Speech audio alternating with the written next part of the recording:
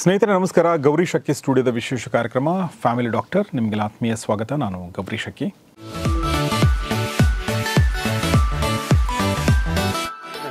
Family doctor ಕಾರ್ಯಕ್ರಮದಲ್ಲಿ ಸಾಕಷ್ಟು ಜನ ವೈದ್ಯರು ಬಂದು ತಮ್ಮ ಅನುಭವದ ಮಾತುಗಳನ್ನು, ತಮ್ಮ ತಮ್ಮ ಉಪಯುಕ್ತ ಮಾಹಿತಿಗಳನ್ನು ಬೇರೆ ಬೇರೆ ವಿಚಾರಗಳ ಕುರಿತಾಗಿ ಮಾತಾಡಿದ್ದನ್ನು ನೀವು ನೋಡಿದ್ದೀರಾ? ಸಾಕಷ್ಟು ಜನ ಡಾಕ್ಟರ್ಗಳು ನಮ್ಮ ಹತ್ರ ಬಂದು ಹೋಗಿದ್ದಾರೆ. ಅದರಲ್ಲಿ ಡಾಕ್ಟರ್ ಎಚ್ ವಿ ವಾಸು ಅವರು ಕೂಡ ಒಬ್ಬರು ಅವರು ವಿಜಯನಗರ ಅಂದರೆ ಬೆಂಗಳೂರಿನ ವಿಜಯನಗರದಲ್ಲಿ ಆ್ಯಕ್ಟಿವ್ ಹೆಲ್ತ್ ಡಯಾಬಿಟಿಸ್ ಸೆಂಟರ್ ನಡೆಸ್ತಾ ಇದ್ದಾರೆ. ಮತ್ತು ಡಯಾಬಿಟೀಸ್ ಬಗ್ಗೆ ಅವೇರ್ನೆಸ್ ಮೂಡಿಸುವ ನಿಟ್ಟಿನಲ್ಲಿ ಸಾಕಷ್ಟು ಕೆಲಸಗಳನ್ನ ಅವರು ಮಾಡ್ತಾ ಇದ್ದಾರೆ. ಸೊ ನಾವು ಡಾಕ್ಟರ್ ಎಚ್ ವಿ ವಾಸು ಅವರೊಂದಿಗೆ ಈಗಾಗಲೇ ಒಂದು ಎರಡು ಮೂರು ವಿಡಿಯೋಗಳನ್ನ ಮಾಡಿದ್ದೀವಿ. ಡಯಾಬಿಟಿಸ್ ಕುರಿತಾಗಿಯೇ ಅವರ ಪಥ್ಯದ ಕುರಿತಾಗಿಯೇ ನಾವು ಮಾಡಿದ್ದೀವಿ ಅದನ್ನು ಕೂಡ ನೀವು ನೋಡಬಹುದು. ಆದರೆ ಇವತ್ತು ಮತ್ತೊಂದು ಸಲ ಮತ್ತಷ್ಟು ಹೊಸ ವಿಚಾರಗಳೊಂದಿಗೆ doctor H V Vasu join ಆಗಿದ್ದಾರೆ. ಬನ್ನಿ ಅವ್ರನ್ನ ಸ್ವಾಗತಿಸೋಣ.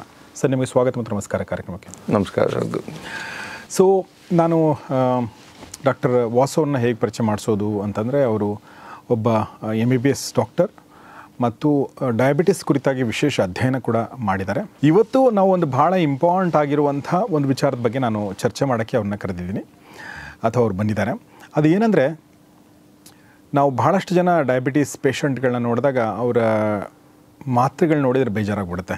ಕೆಲವರು ಚಿಕ್ಕ ಪುಟ್ಟ ಸಣ್ಣ ಮಾತ್ರೆಗಳನ್ನ ಒಂದಷ್ಟು ಮಾತ್ರೆಗಳನ್ನ ತೊಗೊಂಡ್ರೆ ಕೆಲವರು ತುಂಬ ದೊಡ್ಡ ದೊಡ್ಡ, ಅಂದರೆ ಬ, ಜಾಸ್ತಿ ಸಂಖ್ಯೆಯಲ್ಲಿ ಮಾತ್ರೆಗಳನ್ನ ತೊಗೊಂಡು ಜೀವನ ಮಾಡೋದನ್ನು ನೋಡ್ತಾ ಇರ್ತೀವಿ. ಸೊ ಹೀಗಾಗಿ ನನ್ನ ಪ್ರಶ್ನೆ ಡಯಾಬಿಟೀಸ್ ಬಂದವರು ಈಗ ಆಲ್ರೆಡಿ ಇರೋರು ಡಯಾಬಿಟೀಸ್ಗಾಗಿ ಗಾಗಿ ಡಯಾಬಿಟೀಸ್ ಸಲುವಾಗಿ ಏನು ಮಾತ್ರೆಗಳನ್ನ ತಗೋತಾ ಇದ್ದಾರೆ ಅವರು ಆ ಮಾತ್ರೆಗಳನ್ನ ತ್ಯಜಿಸಬಹುದಾ? ನಿಧಾನವಾಗಿ ಕಡಿಮೆ ಮಾಡಿ ಮಾತ್ರೆಗಳಿಲ್ಲದೆ ಅವ್ರ ಜೀವನ ಮಾಡೋ ಥರ ಆಗಬಹುದಾ? ಅನ್ನೋದು ಮೊದಲನೇ ಪ್ರಶ್ನೆ. ಈ ಪ್ರಶ್ನೆ ತುಂಬ ಮುಖ್ಯವಾದ್ದು. ಒಂದು ನಾನು ಸೇರಿದಂತೆ ಈಗ ನಮ್ಮ ದೇಶದಲ್ಲಿ ಮತ್ತು ಜಗತ್ತಿನ ಬೇರೆ ಬೇರೆ ಭಾಗಗಳಲ್ಲಿ ಏನು ಡಯಾಬಿಟೀಸನ್ನು ಪಥ್ಯದ ಮುಖಾಂತರ ಅವರ ಆಹಾರ ಕ್ರಮದಲ್ಲಿ, ಜೀವನ ಶೈಲಿಯಲ್ಲಿ ಬದಲಾವಣೆ ಮಾಡಿಕೊಂಡು ಮಾತ್ರೆ ಕಡಿಮೆ ಮಾಡುವ ಮತ್ತು ಸಾಧ್ಯ ಆದರೆ ನಿಲ್ಲಿಸುವ ಒಂದು ಪ್ರಯತ್ನ, ಒಂದು ಪ್ರಾಕ್ಟೀಸ್ ಏನು ನಡೀತಾ ಇದೆ, ಒಂದು ವಿಧಾನ. ಈ ದೃಷ್ಟಿಯಿಂದಲೂ ಇದು ಮುಖ್ಯ. ಎರಡನೇದು, ಇನ್ನೂ ಒಂದು ಕಾರಣಕ್ಕಾಗಿ ಯಾಕೆ ಮುಖ್ಯ ಅಂದರೆ, ತುಂಬ ಜನ ಪೇಷಂಟ್ಸು ನಮ್ಮ ಹತ್ರ ಬರೋರು ನಿಮ್ಮಲ್ಲಿ ನಾನು ಬಂದು ಮಾತಾಡಿದಾಗ ವಿಡಿಯೋ ನೋಡಿರ್ತಾರೆ ಅಥವಾ ನನ್ನದೇ ಪೇಷಂಟ್ಸು ಅವ್ರಿಗೆ ಹೇಳಿರ್ತಾರೆ. ಇಲ್ಲಿ ಡಯಾಬಿಟಿಸ್ ರಿವರ್ಸಲ್ ಅಂತ ಒಂದನ್ನು ಪ್ರಾಕ್ಟೀಸ್ ಮಾಡ್ತಿದ್ದಾರೆ. ಈ ರಿವರ್ಸಲ್ ಅನ್ನೋ ಪದದ ಬಗ್ಗೆ ಒಂದು ಸ್ವಲ್ಪ ಪ್ರಶ್ನೆಗಳಿವೆ ಅದನ್ನ ನಂತರ ನಾವು ಮಾತಾಡೋಣ. ಅದಕ್ಕೋಸ್ಕರ ಅಂತ ನಮ್ಮಲ್ಲಿ ಬರುವವರು ಮಾತ್ರೆ ತೊಗೊಂಡೇ ಇರಲ್ಲ ತುಂಬ ಕಾಲ. ಅವ್ರಿಗೆ ಡಯಾಬಿಟಿಸ್ ಬಂದು ಎರಡು ವರ್ಷ, ಮೂರು ವರ್ಷ, ಕೆಲವ್ರಿಗೆ ಏಳು ಎಂಟು ವರ್ಷ ಆಗಿರುತ್ತೆ. ಯಾಕೆ ತೊಗೊಳ್ಳಲ್ಲ ಅಂದರೆ ಒಂದು ಸರಿ ಶುರು ಮಾಡಿದ್ರೆ ಅದನ್ನು ನಿಲ್ಸೋಕ್ಕಾಗಲ್ಲ. ಹಾಗಾಗಿ ನಾನು ಮಾತ್ರೆ ಮೇಲೆ ಅವಲಂಬಿಸಿ ಇರೋಬೇಕು ಅಂತ ಅಂದ್ಕೊಂಡಿಲ್ಲ ಒಂದು ಸಲ ಶುರು ಮಾಡಿದರೆ ಅದನ್ನು ಬಿಡೋಕ್ಕಾಗಲ್ಲ ಅನ್ನೋದೊಂದು, ಒಂದು ಸಲ ಶುರು ಮಾಡಿದರೆ ನಮ್ಮ ಮಾತ್ರೆಗಳ ಪ್ರಮಾಣ ಜಾಸ್ತಿ ಆಗ್ತಾನೆ ಆಗ್ತಾನೆ ಹೋಗುತ್ತೆ ಅನ್ನೋ ಒಂದು ನಂಬಿಕೆ ಕೂಡ ಇದೆ. ಹೌದು, ಅದು ಆ ರೀತಿಯಲ್ಲಿ ಆಗೋದು, ಆಗ್ತಾ ಇರುವುದು ವಾಸ್ತವನೇ. ಆದರೆ ಈಗ ಡಯಾಬಿಟಿಸ್ ರಿವರ್ಸಲ್ ಅಥವಾ ರೆಮಿಷನ್ ಈ ರೀತಿ ಬೇರೆ ಬೇರೆ ಹೆಸರಿನಲ್ಲಿ ಏನು ಪ್ರಾಕ್ಟೀಸ್ ನಡೀತಾ ಇದೆ. ನಾವು ಆ ಮಾತ್ರೆಗಳನ್ನು ಕಡಿಮೆ ಮಾಡೋದದ್ದೇ ನಮ್ಮ ನಮ್ಮ ಕೆಲಸ. ಅದನ್ನೇ ನಾವು ಪ್ರಾಕ್ಟೀಸ್ ಮಾಡ್ತಾ ಇದ್ದೀವಿ ವಿಶೇಷವಾಗಿ ಎರಡು ಸಾವಿರದ ಹದಿನಾರರಿಂದ ಎನ್ ಎಚ್ ಎಸ್ ಅಂತ ಇಂಗ್ಲೆಂಡ್ನಲ್ಲಿದೆ, ನ್ಯಾಷನಲ್ ಹೆಲ್ತ್ ಸರ್ವಿಸ್ ಅಂತ. ಅವರು ಒಂದು ಭಾಳ ಒಂದು ಒಂದು ಮುಖ್ಯವಾದ ಅಧ್ಯಯನವನ್ನು ಸ್ಪಾನ್ಸರ್ ಮಾಡಿದ್ರು, ಡೈರೆಕ್ಟ್ ಅಂತ ಅದನ್ನು ಕರೀತಾರೆ. ಆ ಸ್ಟಡಿನಲ್ಲಿ ನಂತರದಲ್ಲಿ ಜಗತ್ತಿನಲ್ಲಿ ಇದ್ರ ಬಗ್ಗೆ ಇನ್ನೂ ಹೆಚ್ಚಿನ ಒಂದು ಆಸಕ್ತಿ, ಕುತೂಹಲ ಮತ್ತು ಆ ಪ್ರಾಕ್ಟೀಸ್ ಕೂಡ ಶುರುವಾಗಿದೆ. ತೀರಾ ಇತ್ತೀಚೆಗೆ, ಅಂದರೆ ಎರಡು ಸಾವಿರದ ಇಪ್ಪತ್ತೆರಡರ ಬಹುಶಃ ನವೆಂಬರ್, ಡಿಸೆಂಬರ್ನಲ್ಲಿ ಐ ಸಿ ಎಂ ಆರ್ ಕೂಡ, Indian council for medical research ಏನಿದೆ, ನಮ್ಮ ದೇಶದ ಪ್ರೀಮಿಯರ್ ರಿಸರ್ಚ್ ಇನ್ಸ್ಟಿಟ್ಯೂಟು ಅವರು ಕೂಡ ಹದಿನೆಂಟು ಸಾವಿರದ ತೊಂಬತ್ತೆರಡು ಡಯಾಬಿಟಿಕ್ಸ್ ಮೇಲೆ ಈ ಒಂದು ಆಹಾರ ಕ್ರಮದ ಮುಖಾಂತರ ಅದನ್ನು ನಿರ್ವಹಿಸುವ ಒಂದು ಪ್ರಯೋಗವನ್ನು ಮಾಡಿದ್ದಾರೆ. ಸೊ ಅವರು ಭಾರತದಲ್ಲಿ ಮಾಡಿರುವಂಥ ಪ್ರಯೋಗ ಏನಿದೆ, ಸರ್ಕಾರಿ ಸಂಸ್ಥೆ ಅದು ನ್ಯೂಲಿ ಡಿಟೆಕ್ಟೆಡ್ ಡಯಾಬಿಟಿಸ್ ಅಂದರೆ ಡಯಾಬಿಟಿಸ್ ಬಂದು ಒಂದು ವರ್ಷ ಆಗಿದ್ದರೆ ಅವರ ಬಗ್ಗೆ ಮಾತ್ರ ರಿಸರ್ಚ್ ಮಾಡಿದ್ದಾರೆ. ಡೈರೆಕ್ಟ್ ಸ್ಟಡಿ ಏನು ಎನ್ ಎಚ್ ಎಸ್ ಅಲ್ಲಿ ಯು ಕೆ ಅಲ್ಲಿ ನಡೀತು ಇಂಗ್ಲೆಂಡಲ್ಲಿ ಅವರು ಡಯಾಬಿಟಿಸ್ ಬಂದು ಹತ್ತು ವರ್ಷ ಆದವರ ಮೇಲೆ ನಡೆಸಿರುವಂಥ ಪ್ರಯೋಗ ಅದು. ಅಫ್ಕೋರ್ಸ್ ಇನ್ನು ಇಪ್ಪತ್ತು ವರ್ಷ ಮೂವತ್ತು ವರ್ಷ ನಲ್ವತ್ತು ವರ್ಷ ಬಂದು ಡಯಾಬಿಟಿಸ್ ಆಗಿರೋರ್ಗೂ ಕೂಡ ನಾವು ಟ್ರೀಟ್ಮೆಂಟ್ ಕೊಡ್ತಾ ಇದ್ದೀವಿ. ಆ ರೀತಿಯಲ್ಲಿ ನಾನು ಡಯಾಬಿಟಿಸ್ ಬಂದು ನಲವತ್ತಾರು ವರ್ಷ ಆಗಿದ್ದ ಒಬ್ಬರಿಗೆ ಅವ್ರಿಗೆ ಎಂಬತ್ತಾರು ವರ್ಷ ವಯಸ್ಸಾಗ. ಅಂದರೆ ಅವ್ರು ನನ್ನ ಹತ್ರ ಬಂದಾಗ ಅವ್ರಿಗೆ ಡಯಾಬಿಟಿಸ್ ಬಂದು ಎಷ್ಟು ವರ್ಷ ಆಗಿತ್ತು ಅಂದರೆ ನಾನು ಹುಟ್ಟಿದಾಗ ಹೊರಗೆ ಡಯಾಬಿಟಿಸ್ ಬಂದಿತ್ತು. ಅವ್ರಿಗೂ ಕೂಡ ನಾವು ಇನ್ಸುಲಿನನ್ನು ಕ್ರಮೇಣವಾಗಿ ಕಡಿಮೆ ಮಾಡೋಕ್ಕೆ, ಕಡಿಮೆ ಮಾಡಿ ನಿಲ್ಲಿಸಲಿಕ್ಕೆ ಸಾಧ್ಯ ಆಯಿತು. ಈ ಥರ ಇಡೀ ಜಗತ್ತಿನಲ್ಲಿ ಈ ಪ್ರಯೋಗಗಳು ಏನು ನಡೀತಾ ಇದೆ ಅದನ್ನು ಕೇಳಿಕೊಂಡು ನಮ್ಮ ಹತ್ರ ಬರ್ತಾರೆ. ಬಂದವ್ರಿಗೆ ಏನಪ್ಪ ಅಂದರೆ ನನಗೆ ಯಾರೋ ಒಬ್ಬರು ಸಿಕ್ಕರು ಈಗ, ನಾನೀಗ ಮಾತ್ರೇನೇ ಇಲ್ಲದೆ ನಾನು ಡಯಾಬಿಟಿಸ್ನ ನಿಭಾಯಿಸ್ಬೋದು ಅಂತ. ಆದರೆ ಅವ್ರಿಗಾಗಲೇ ಡಯ ಶುಗರ್ ಮುನ್ನೂರು ಇರುತ್ತೆ, ನಾನ್ನೂರು ಇರುತ್ತೆ, ಅವ್ರ H B A one C ಒಂಬತ್ತು, ಹತ್ತು, ಹನ್ನೊಂದು ಇರುತ್ತೆ. ಇದು ಭಾಳ ತಪ್ಪು. ಈಗ ಡಯಾಬಿಟಿಸ್ ಬಂದವರಿಗೆ ಪಥ್ಯದ ಮುಖಾಂತರ ಜೀವನ ಶೈಲಿಯಲ್ಲಿ ಮಾಡಿಕೊಳ್ಳೋ ಬದಲಾವಣೆಗಳಿಂದ ಮಾತ್ರೆಯನ್ನು ಕಡಿಮೆ ಮಾಡ್ಬೋದು ಭಾಳ ಜನರಿಗೆ ಮಾತ್ರೆಯನ್ನು ಸಂಪೂರ್ಣವಾಗಿ ನಿಲ್ಲಿಸ್ಬೋದು. ಇದು ಭಾಳ ಸ್ಪಷ್ಟವಾಗಿದೆ. ಇದು ಐ ಸಿ ಎಂ ಆರ್ ಮಾಡಿರುವಂಥ ಸ್ಟಡಿ ಏನಿರಲಿ, ಅಥವಾ ಎನ್ ಎಚ್ ಎಸ್ ಮಾಡಿರೋ ಸ್ಟಡಿ ಇರಲಿ ನನ್ನಂಥ ಡಾಕ್ಟರ್ಗಳು ತುಂಬ ಜನ ಪ್ರಾಕ್ಟೀಸ್ ಮಾಡ್ತಾರೆ ನಾನು ಹಂಗೆ ನೋಡಿದ್ರೆ ಭಾಳ ಜೂನಿಯರು ತುಂಬ ದಶಕಗಳಿಂದ ಇದನ್ನು ಪ್ರಾಕ್ಟೀಸ್ ಮಾಡ್ತಾ ಇರುವಂಥವ್ರು ಇದ್ದಾರೆ ಇದನ್ನು ಮಾಡಲಿಕ್ಕೆ ಸಾಧ್ಯ ಇದೆ. ಆದರೆ ಅದರ ಅರ್ಥ ಇದನ್ನು ಎಲ್ಲರಿಗೂ ಎಲ್ಲ ಮಾತ್ರೆಯನ್ನು ನಿಲ್ಲಿಸ್ಬೋದು ಅಂತ ಅಲ್ಲ ಒಂದು. ಎರಡನೇದು ಕಾಲದಲ್ಲೂ ನಿಲ್ಲಿಸ್ಬೋದು ಅಂತನೂ ಅಲ್ಲ. ಅಂದರೆ it will take time it will take time ಹೌದು. ಬಂದು ಇವತ್ತು ನಮ್ಮ ಹತ್ರ ಬಂದರೂ ಬಂದ ದಿನ ಮಾತ್ರೆ ನಿಲ್ಲಿಸ್ಬೋದು ಅಂತ ಆಗಲ್ಲ. ಎರಡನೇದಾಗಿ ನಿಮಗೆ ಶುಗರ್ ತುಂಬ ಜಾಸ್ತಿ ಇದ್ದರೆ ಮೊದಲು ನೀವು ಮಾತ್ರೆ ತೊಗೋಬೇಕು. ತೆಗೆದುಕೊಳ್ದೆ. ನಾನು ಪರವಾಗಿಲ್ಲ ಇದನ್ನು ಪತ್ತಿದ ಮುಖಾಂತರ ನಾನು ಮೂರು ತಿಂಗಳಿಗೋ, ಆರು ತಿಂಗಳಿಗೋ ವರ್ಷಕ್ಕೋ ಇದನ್ನು ನಿರ್ವಹಣೆ ಮಾಡ್ತೀನಿ, ಪೂರ್ತಿ ನಾರ್ಮಲ್ ಮಾಡ್ಕೊಳ್ತೀನಿ. ಈಗ ನನಗೆ ಎಷ್ಟು ಶುಗರ್ ಬೇಕಾದ್ರೂ ಇರಲಿ ಅಂದರೆ ನಿಮ್ಮ ಕಣ್ಣಿಗೆ, ಕಿಡ್ನಿಗೆ ಕಾಲಿನಲ್ಲಿರುವಂಥ ನರಗಳಿಗೆ, ದೇಹದ ಬೇರೆ ಬೇರೆ ಅಂಗಗಳಿಗೆ ಅದರಿಂದ ತೊಂದರೆ ಆಗುತ್ತೆ. ಹಾಗಾಗಿ ಇದು ಕೂಡ ಮನಸ್ಸಲ್ಲಿರಬೇಕು ಮಾತ್ರೆಯನ್ನು ಕಡಿಮೆ ಮಾಡೋದಕ್ಕೆ ಸಾಧ್ಯ, ಮಾತ್ರೆಯನ್ನು ನಿಲ್ಲಿಸೋದಕ್ಕೂ ಕೂಡ ಎಷ್ಟೋ ಜನರಿಗೆ ಸಾಧ್ಯ. ಆದರೆ ಮಾತ್ರೆ ತೊಗೊಂಬಿಟ್ಟಿದ್ದೀವಿ ಹಾಗಾಗಿ ಇನ್ನು ಮುಂದೆ ನಿಲ್ಸೋಕ್ಕೆ ಆಗಲ್ಲ, ಅದು ಹೆಚ್ಚಾಗುತ್ತೆ ಅನ್ನೋದು ವಾಸ್ತವ ಅಲ್ಲ. ಅಟ್ ದಿ ಸೇಮ್ ಟೈಮ್ ನಿಮಗೆ ತುಂಬ ಡಯಾಬಿಟಿಸ್ ಜಾಸ್ತಿ ಇದ್ದರೆ ನೀವು ರಿವರ್ಸಲ್ ಮಾಡ್ಕೊಳ್ಬೇಕು ಅನ್ನೋಂಥ ಕಾರಣಕ್ಕೆ ಮಾತ್ರೆ ತಗೊಳ್ಳದೇ ಇರೋದು ತಪ್ಪಾಗುತ್ತೆ. ದೇಹಕ್ಕೆ ಡ್ಯಾಮೇಜ್ ಆಗುತ್ತೆ ಅದರಿಂದ. ಮೊದಲನೇ ಪ್ರಶ್ನೆಗೆ ಉತ್ತರ ಕೊಟ್ಟರೆ ಅಂದರೆ ನೀವು ಮಾತ್ರೆನ ನಿಧಾನವಾಗಿ ಕಡಿಮೆ ಮಾಡಬಹುದು ಅಥವಾ ನೀವು ನಿಲ್ಲಿಸಬಹುದು ಕೂಡ. ಅದಕ್ಕೆ ಒಂದಷ್ಟು ಟರ್ಮ್ಸ್ ಆ್ಯಂಡ್ ಕಂಡೀಷನ್ಸ್ ಅಪ್ಲೈ ಆಗ್ತವೆ. ಈಗ ಹೇಗೆ ಇದನ್ನು ನಿಲ್ಲಿಸೋಕ್ಕೆ ಸಾಧ್ಯ? ಮತ್ತು ಯಾರಿಗೆ ಇದನ್ನು ನಿಲ್ಸಕ್ಕೆ ಸಾಧ್ಯ? ಅಂದರೆ ಮಾತ್ರೆಗಳು ನಿಲ್ಸೋಕ್ಕೆ. ಮಾತ್ರೆಗಳನ್ನ ನಿಲ್ಸೋಕ್ಕೆ ಹೇಗೆ ಸಾಧ್ಯ? ಇದು ಹಿಂದೆ ಕೂಡ ನಿಮ್ಮ ಜೊತೆ ಮಾತಾಡ್ತಾ ನಾನು ಇದನ್ನು ಹೇಳಿದ್ದೆ. ಡಯಾಬಿಟಿಸಲ್ಲಿ ಬೇರೆ ಬೇರೆ ವಿಧಗಳಿವೆ. ಟೈಪ್ ಒನ್ ಮತ್ತು ಟೈಪ್ ಟು ಬ್ರಾಡ್ಲಿ ಇನ್ನೂ ಹಲವು ರೀತಿಯ ಡಯಾಬಿಟಿಸ್ ಅಂದರೆ ವಿಧಗಳಿವೆ. ಜೆಸ್ಟೇಷನ್ ಡಯಾಬಿಟಿಸ್ ಅಂತೀವಿ ಅಂದರೆ ಗರ್ಭಿಣಿಯಾಗಿದ್ದಾಗ ಡಯಾಬಿಟಿಸ್ ಬರೋದು. ಈ ರೀತಿಯಲ್ಲಿ ಹಲವಾರು ವಿಧಗಳಿವೆ. ಆದರೆ ಬ್ರಾಡ್ಲಿ ಟೈಪ್ ಒನ್ ಮತ್ತು ಟೈಪ್ ಟು ಅಂತ ಇದೆ. ಟೈಪ್ ಒನ್ ಡಯಾಬಿಟಿಸು ಸಾಮಾನ್ಯವಾಗಿ ಮಕ್ಕಳಲ್ಲಿ ಬರುತ್ತೆ. ಮತ್ತು ಅವ್ರ ದೇಹದಲ್ಲಿ ಇನ್ಸುಲಿನ್ನ ಪ್ರಮಾಣ ಭಾಳ ಕಡಿಮೆ ಇರುತ್ತೆ ಅಥವಾ ಇರೋದೇ ಇಲ್ಲ ಅನ್ನೋಷ್ಟು ಕಡಿಮೆ ಇರುತ್ತೆ. ಮಕ್ಕಳಂದರೆ ಎಷ್ಟು ವರ್ಷ ಮಕ್ಕಳಂದರೆ ನಿಮಗೆ ಹದಿನೈದು ವಯಸ್ಸಿನ ಒಳಗಿನ ಮಕ್ಕಳಿಗೆ. ಎರಡನೇದು ಟೈಪ್ ಟು ಡಯಾಬಿಟಿಸು ಇದು ಸಾಮಾನ್ಯವಾಗಿ ಮೂವತ್ತೈದು ವಯಸ್ಸಿನ ನಂತರ ಬರುತ್ತೆ. ಮೂವತ್ತೈದು ವಯಸ್ಸಿನ ಒಳಗೂ ಟೈಪ್ ಟು ಡಯಾಬಿಟಿಸ್ ಬರುತ್ತೆ. ಆದರೆ ಸಾಮಾನ್ಯವಾಗಿ ಮೂವತ್ತೈದರ ನಂತರ ಮೂವತ್ತೈದು ವಯಸ್ಸಿನ ನಂತರ ಬರುವಂಥ ಡಯಾಬಿಟಿಸ್ ಇದೆಯಲ್ಲ ಇದು ಟೈಪ್ ಟು ಡಯಾಬಿಟಿಸ್ ಇವರಲ್ಲಿ ಹೆಚ್ಚಿನವರಿಗೆ ಬಹುತೇಕರಿಗೆ ಅವ್ರ ದೇಹದಲ್ಲಿ ಇನ್ಸುಲಿನ್ ಪ್ರಮಾಣ ನಾರ್ಮಲ್ ಇರುತ್ತೆ ಅಥವಾ ಕೆಲವರಲ್ಲಿ ಜಾಸ್ತಿ ಇರುತ್ತೆ. ಯಾಕಂದರೆ ಅವರಲ್ಲಿ ಇನ್ಸುಲಿನ್ ಕೆಲಸ ಮಾಡ್ತಾ ಇರಲ್ಲ. ಅದನ್ನು ನಾವು ಇನ್ಸುಲಿನ್ ರೆಸಿಸ್ಟೆನ್ಸ್ ಅಂತ ಕರಿತೀವಿ ಇನ್ಸುಲಿನ್ ಪ್ರತಿರೋಧ ಅಂತ ಕರಿತೀವಿ. ಆ ಥರ ಇರುವವರಿಗೆ ನಾವು ಡಯಾಬಿಟಿಸ್ ರಿವರ್ಸಲ್ ಅಂತ ಕರೀಲಾಗುವ ಟ್ರೀಟ್ಮೆಂಟನ್ನು ಕೊಡ್ತೀವಿ. ಬಟ್ ಈ ರಿವರ್ಸಲ್ ಅನ್ನೋ ಟರ್ಮ್ ಬಗ್ಗೆ ಎಚ್ಚರದಿಂದ ಇರಬೇಕು ನಾವು. ಇದನ್ನು ಬೇರೆ ಬೇರೆಯವರು ಬೇರೆ ಬೇರೆ ರೀತಿಯಲ್ಲಿ ಬಳಸ್ತಾ ಇದ್ದಾರೆ. ಕೆಲವರು ಅದನ್ನು ಮುಂ ನೀವಾಗಲೇ ಹೇಳಿದ್ರಲ್ಲ, ಮಾತ್ರೆ ತೊಗೊಂಬಿಟ್ರೆ ಜಾಸ್ತಿ ಆಗ್ತಾನೇ ಹೋಗುತ್ತೆ ಅಂತ. ಆದರೆ ಇಲ್ಲ, ಸ್ವಲ್ಪನಾದರೂ ಕಡಿಮೆ ಆಗುತ್ತಲ್ಲ ಈ ಟ್ರೀಟ್ಮೆಂಟಿಂದ. ಹಾಗಾಗಿ ಅದು ಒಂದು ರಿವರ್ಸಲ್ ಜರ್ನಿ, ರಿವರ್ಸ್ ಜರ್ನಿ ಆದ್ದರಿಂದ ಅದನ್ನೇ ರಿವರ್ಸಲ್ ಅಂತ ಕರಿಬೋದು ಅಂತ. ಇನ್ನು ಕೆಲವರು ಈ ರಿವರ್ಸಲ್ ಅನ್ನೋ ಪದವನ್ನು ಪೂರ್ತಿ ಎಲ್ಲ ಮಾತ್ರೆಯನ್ನು ಸಂಪೂರ್ಣ ನಿಲ್ಲಿಸುವ. ನಿಲ್ಲಿಸಿ ಇನ್ನು ಮುಂದೆ ಡಯಾಬಿಟಿಸ್ ಇಲ್ಲ ಅನ್ನೋ ಥರ ಆಗ್ಬಿಟ್ಟು ಅದಕ್ಕೆ ಮಾತ್ರ ಬಳಸ್ತಾರೆ. ಹಾಗಾಗಿ ರಿವರ್ಸಲ್ ಅನ್ನೋ ಪದದಲ್ಲಿ ಸಮಸ್ಯೆ ಇದೆ. ಬಟ್ ನಾವು ಇಷ್ಟನ್ನು ಹೇಳ್ಬೋದು. ಆಹಾರ ಕ್ರಮದಿಂದ ಮಾತ್ರೆಯನ್ನು ಕಡಿಮೆ ಮಾಡೋದಕ್ಕೆ ಸಾಧ್ಯ. ಒಳ್ಳೆಯ ಸರಿಯಾದ ರೀತಿಯ ಜೀವನ ಶೈಲಿಯನ್ನು ಅಳವಡಿಸ್ಕೊಳ್ಳೋದ್ರಿಂದ ಮತ್ತು ಭಾಳ ಜನರಲ್ಲಿ ಮಾತ್ರೆಯನ್ನು ಸಂಪೂರ್ಣ ನಿಲ್ಲಿಸೋದಕ್ಕೆ ಸಾಧ್ಯ. ಆದರೆ ಎಲ್ಲರಿಗೂ ಅಂದರೆ ಡಯಾಬಿಟಿಸ್ ಬಂದು ಹತ್ತು ವರ್ಷ ಆಗಿರುತ್ತೆ ಇಪ್ಪತ್ತು ವರ್ಷ ಆಗಿರುತ್ತೆ ಮೂವತ್ತು ವರ್ಷ ಆಗಿರುತ್ತೆ ಅವರೆಲ್ಲರಿಗೂ ಕೂಡ ಆಹಾರ ಕ್ರಮದಿಂದ ಒಂದು ಮಾತ್ರೆಯನ್ನು ತೆಗೆದುಕೊಳ್ಳದೆ ನೂರಕ್ಕೆ ನೂರು ಭಾಗ ಮಾಡ್ಬೋದು ಅಂತ ಇಲ್ಲ. ಯಾಕಂದರೆ ಇದು ಒಂದು ಮೂವತ್ತು ವರ್ಷದಿಂದ ಬೇರೆ ಬೇರೆಯವರಿಗೆ ಪ್ರಾಕ್ಟೀಸ್ ಮಾಡ್ತಾ ಇದ್ದರೂ ಕೂಡ ಸಾಂಸ್ಥಿಕವಾಗಿ ಇದರ ಬಗ್ಗೆ ಸಂಶೋಧನೆಗಳು ನಡೆಯೋಕ್ಕೆ ಶುರುವಾಗಿರೋದು ಇತ್ತೀಚೆಗೆ.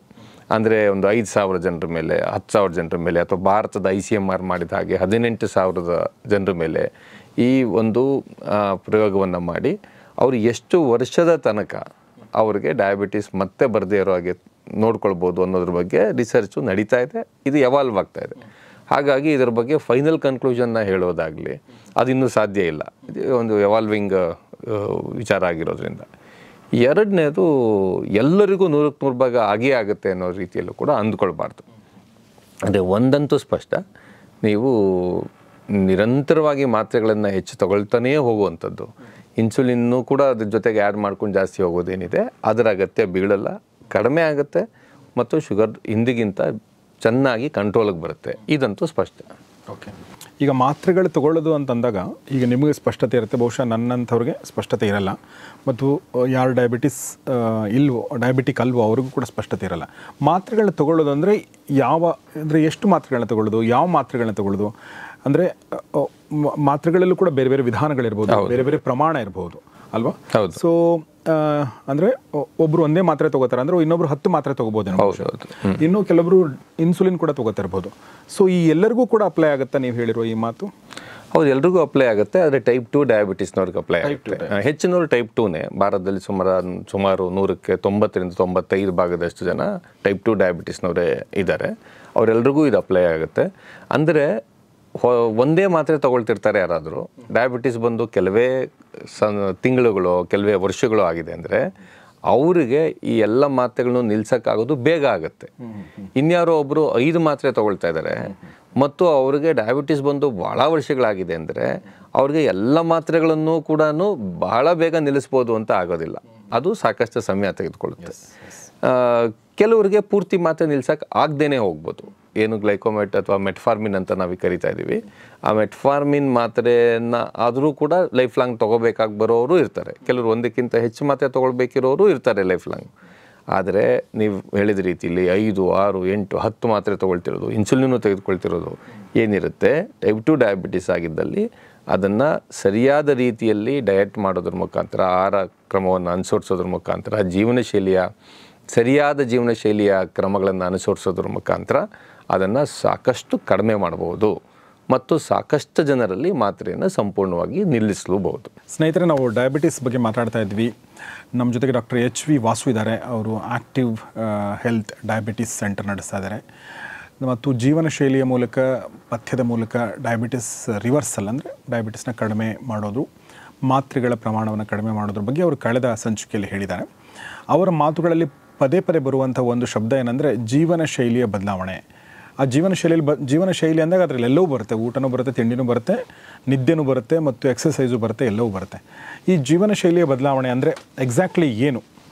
ಈಗ ಅದನ್ನು ನಾನು ಡಾಕ್ಟರ್ ವಾಸು ಅವರಿಗೆ ಕೇಳಬೇಕಂತ ಅಂದ್ಕೊಂಡಿದ್ದೀನಿ ಇದು ಆಮೇಲೆ ಇದು ಯಾರಿಗೆ ಅಪ್ಲೈ ಆಗುತ್ತೆ ಅನ್ನೋದನ್ನು ಕೂಡ ಅಂದರೆ ಒಂದು ಮಾತ್ರೆ ತಗೊಳ್ಳೋರು ಈಗ ತಾನೇ ಶುರುವಾದವರಿಂದ ಹಿಡ್ಕೊಂಡು ನಲವತ್ತು ವರ್ಷಗಳಿಂದ ಮಾತ್ರೆ ತಗೊಳ್ಳೋರು ಅಥವಾ ಇರೋರು ಎಲ್ಲರಿಗೂ ಅಪ್ಲೈ ಆಗುವಂಥ ಒಂದು ಜನರಲ್ ಆಗಿರುವಂಥ ಒಂದು ಜೀವನ ಶೈಲಿ ಬದಲಾವಣೆ ಬಗ್ಗೆ ತಾವು ಹೇಳ್ಬೋದಾ? ಸೊ ನೀವು ಹೇಳಿದ್ದು ಸರಿಯಾಗಿದೆ. ಒಂದು, ನಾವು ಜೀವನ ಶೈಲಿ ಅಂತ ಹೇಳಿದಾಗ ಅದರಲ್ಲಿ ಆಹಾರದ ವಿಚಾರ ಇದೆ, ಮತ್ತು ವ್ಯಾಯಾಮ ಅಥವಾ ಒಟ್ಟಾರೆ ದೈಹಿಕ ಚಟುವಟಿಕೆ ವಿಚಾರ ಇದೆ, ನಿದ್ದೆದಿದೆ, ಮತ್ತು ಒತ್ತಡ ಇದೆ. ಈ ನಾಲ್ಕು ಕೂಡ ನಮ್ಮ ಆರೋಗ್ಯದ ಮೇಲೆ ಗಣನೀಯವಾದ ಪರಿಣಾಮ ಬೀರುತ್ತೆ. ಡಯಾಬಿಟಿಸ್ ಮೇಲೆ ಮಾತ್ರ ಅಂತಲ್ಲ, ಇನ್ನು ಹಲವು ರೀತಿಯ ಸಮಸ್ಯೆಗಳು ಈ ಜೀವನ ಶೈಲಿಯಲ್ಲಿ ಇರುವ ಸಮಸ್ಯೆಗಳಿಂದಾಗಿ.